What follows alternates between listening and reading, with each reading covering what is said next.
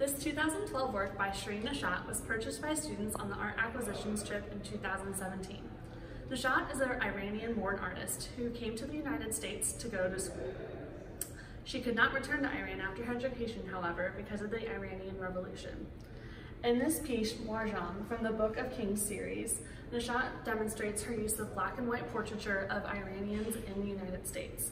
On top of this portrait, she hand inscribes Farsi, using pieces from old tales.